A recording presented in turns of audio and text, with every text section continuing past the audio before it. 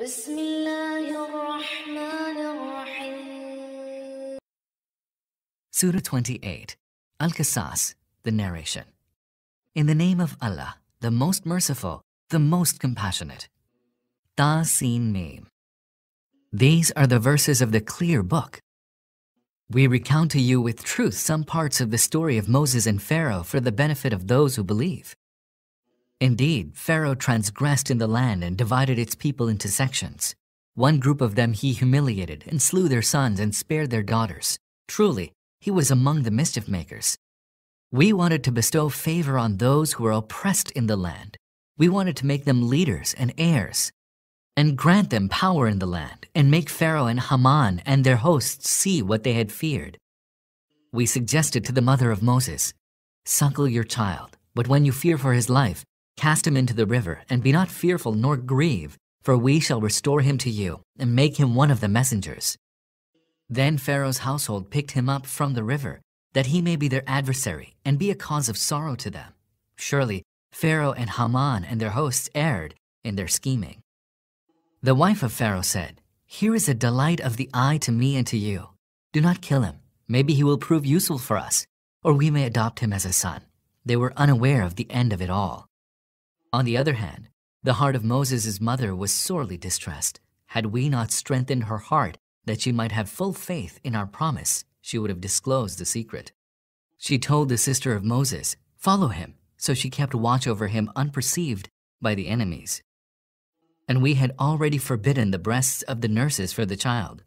So seeing the girl, said, Shall I direct you to the people of a household that will rear him with utter sincerity?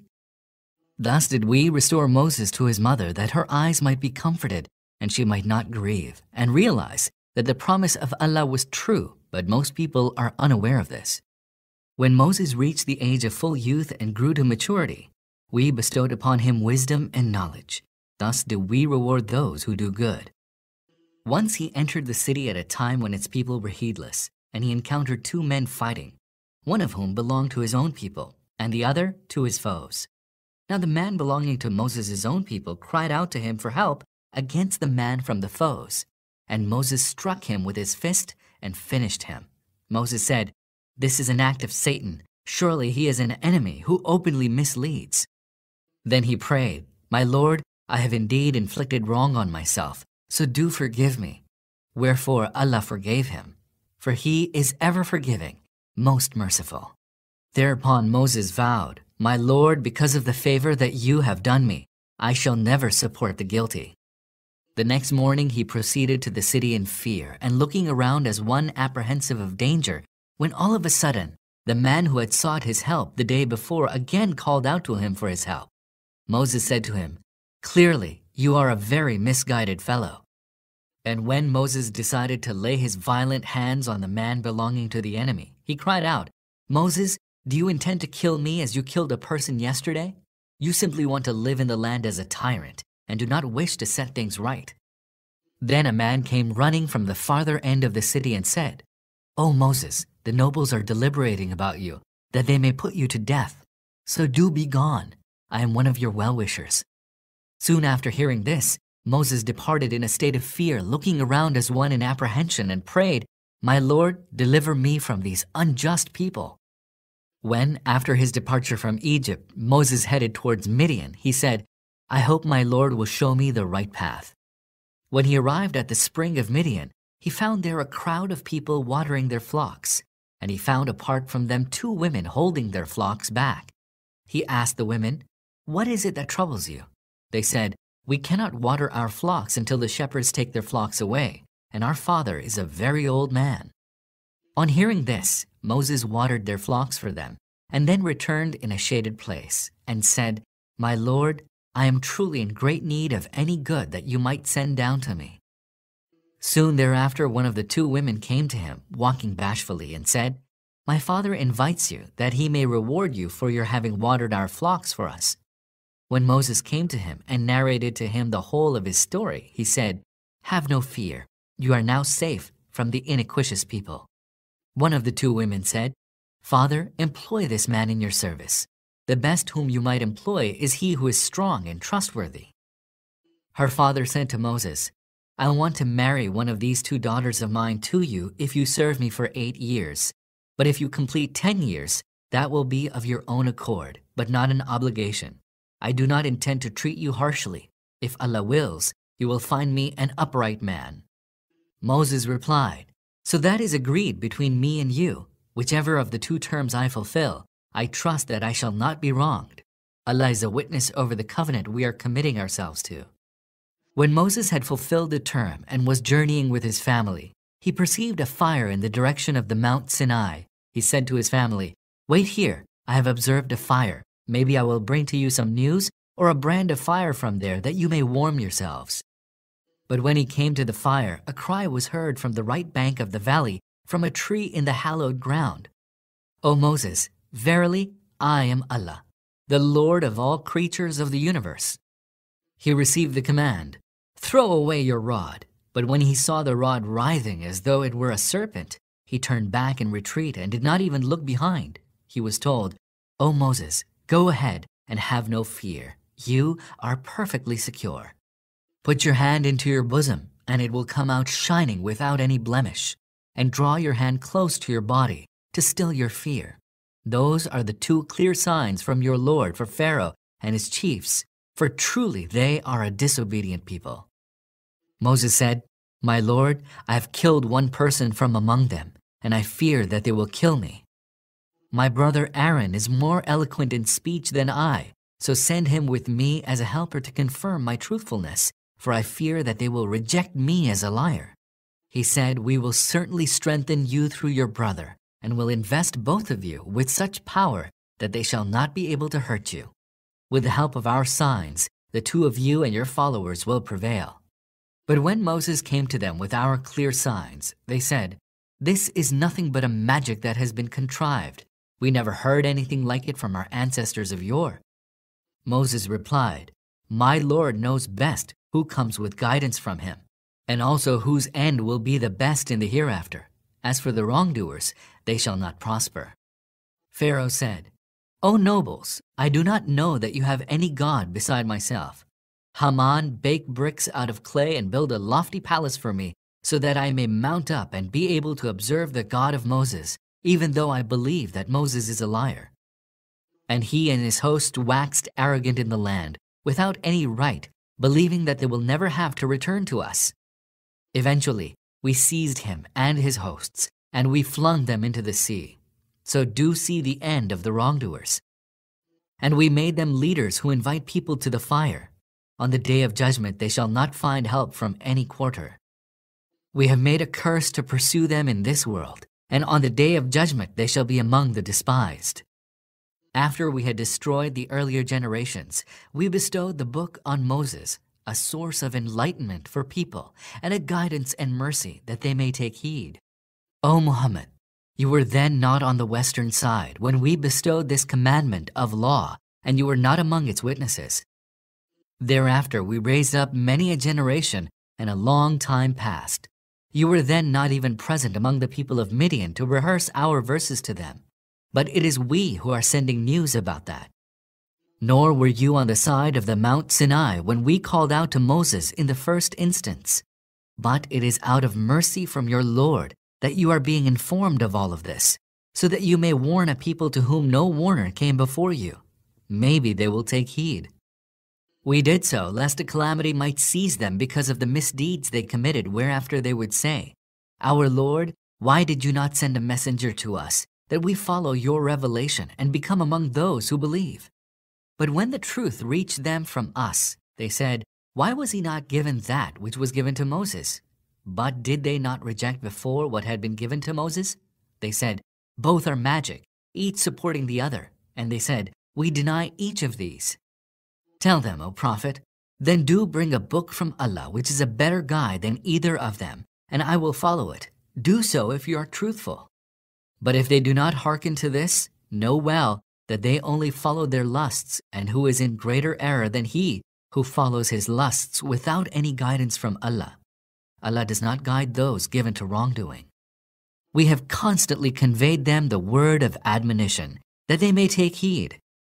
Those on whom we bestowed the book before do believe in this, to wit, the Quran.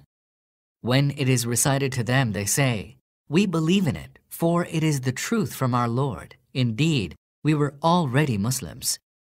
These will be granted their reward twice over because they remain steadfast. They repel evil with good and spend in alms out of the sustenance we provided them.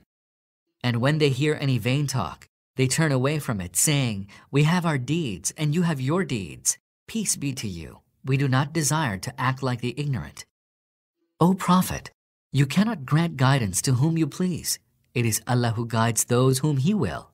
He knows best who are amenable to guidance. They say, If we were to follow this guidance with you, we should be snatched away from our land. Have we not established for them a secure sanctuary to which fruits of all kinds are brought as a provision from us? But most of them do not know. And how many a town did we destroy whose inhabitants exulted on account of their affluence? These are their dwellings in which very few dwelt after them. Eventually, it is we who inherited them. Your Lord would not destroy a town until he had sent to its center a messenger who would recite to them our verses, nor would we destroy any town unless its inhabitants were iniquitous. Whatever you have been given is a provision for the life of this world and its glitter, but that which is with Allah is better and more enduring. Do you not use your intellect? Now he to whom we have promised a good, which he is going to obtain, can he be like him whom we have given the good things of this life, but who will be brought up for punishment on the day of judgment?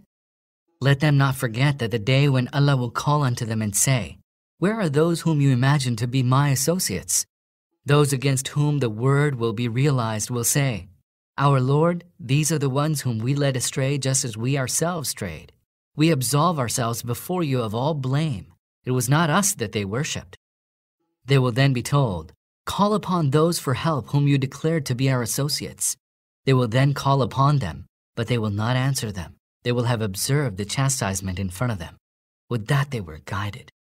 Let them not disregard that the day when Allah will call out to them saying, What was the answer you gave to the messengers? Then they will not be able to think of any reply, nor will they be able to ask one another. But those who repented and believed and acted righteously, they will perhaps be among those who will prosper there. Your Lord creates what He will and chooses for His tasks whomsoever He will. It is not for them to make the choice. Glory be to Allah. He is exalted far above in their associating others in His divinity. Your Lord knows all that their hearts conceal and all that they reveal. He is Allah. There is no God but He. His is the praise in this world and in the hereafter. His is the command, and to him will all of you be returned. O Prophet, tell them, did you consider, if Allah were to make the night perpetual over you till the day of judgment, is there a God other than Allah who can bring forth light for you? Do you not hear? Say, did you consider, if Allah were to make the day become perpetual over you till the day of judgment, is there a God other than Allah who can bring in night for you, that you may repose in it? Will you not see? It is out of his mercy that he has made for you night and day, that you may repose during the night, and seek his bounty during the day, that you might be grateful. Let them bear in mind that on that day when he will call out to them, saying, Where are my associates, those whom you imagine to be so? And from each people we shall draw a witness, and shall say to them, Do produce your evidence now. Then they shall know that the truth is with Allah alone and the lies which they had invented will forsake them. To be sure, Qarun, Korah, was one of Moses' people. Then he transgressed against them. We had bestowed on him such treasure that their very keys would have been raised with difficulty by a whole group of strong people. Once when his people said to him, Do not exult, for Allah does not love those who exult in their riches. Seek by means of the wealth that Allah has granted you the abode of the hereafter, but forget not your share in this world, and do good, as Allah has been good to you, and do not strive to create mischief in the land, for Allah loves not those who create mischief. He replied, All this has been given to me on account of a certain knowledge that I have. Did he not know that Allah had destroyed before him those who were stronger in might than he, and were more numerous in multitude? The wicked are not asked about their acts of sin. Once Korah went forth among his people in full glitter. Those seeking the life of this world said, Would that we had the like of what Korah has. He truly has a great fortune. But those endowed with true knowledge said, Woe to you! The reward of Allah is best for those who believe and act righteously. But none except those who are patient shall attain to this. At last we caused the earth to swallow him and his house. Thereafter there was no group of people that could come to his aid against Allah, nor was he able to come to his own aid. And those who had envied his position the day before began to say on the morrow, Alas, we had forgotten that it is Allah who increases the provision of those of his servants whom he will, and grants in sparing measure to those whom he will. But for Allah's favor upon us, he could have made us to be swallowed too. Alas, we had forgotten that the unbelievers do not prosper. As for the abode of the hereafter, we shall assign it exclusively for those who do not seek glory on earth, nor want to cause mischief. The God fearing shall have the best end. He who shall bring a good deed shall be rewarded with what is better, but those who bring evil deeds shall not be requited more than their deeds. O Prophet, surely he who has ordained the Quran on you will bring you to the best end. Say to them, My Lord knows best who has brought true guidance and who is in clear error. O Prophet, you never looked forward for the book to be revealed to you. It is out of sheer mercy of your Lord that it was revealed to you. So do not lend any support to the unbelievers. And let it never happen that the unbelievers might turn you away from the revelations of Allah after they have been revealed to you. Call people to your Lord and never become one of the unbelievers. And do not invoke any God beside Allah. There is no God but He. All will perish but He. To Him belongs the command, and to Him shall all of you return.